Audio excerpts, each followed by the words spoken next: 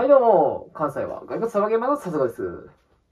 今回、2021年4月の15日は、サスゴ活動5周年ということで、このサスゴという存在が出来上がってから5周年経ったということですね。今までこのいろんな活動をしてきて、まあいろんな装備も作り、で、いろんな人と出会い、こうしてこの日を迎えたことに本当に感謝しております。まあ本当であればこういうお祝い事のイベントみたいなのをやりたかったんですけど、なかなかね、こんなご時世でございますし、あの、チェーンサーバー前っていうのもあったんで、ちょっとなかなか開催しにくいなっていうのは正直なところで、それならばなんかみんなと盛り上がれる、なんかこういう面白いことできないかなということで、えっ、と、いろんな方々に掛け合って、ちょっと力を合わせて、一つ面白いことをしてみたので、よかったら見ていただけたらと思います。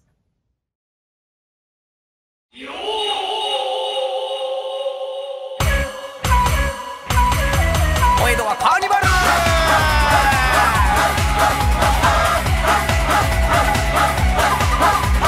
悲しい話はもうたくさんだい。笑顔が一番すいやすいやすいや。すいや悪者相続容赦はしない。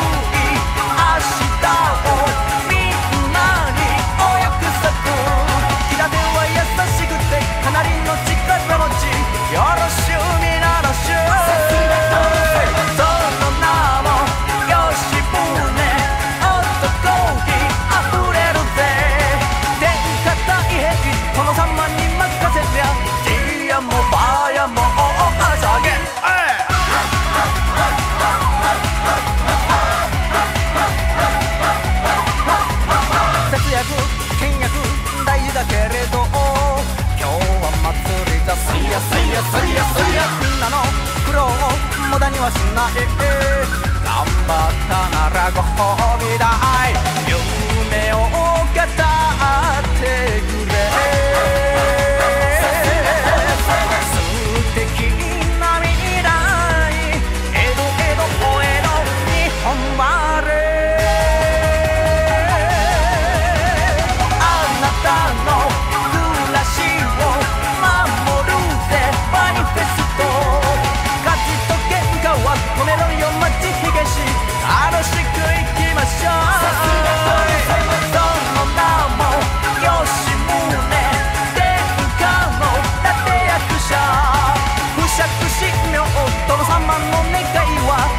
Agotó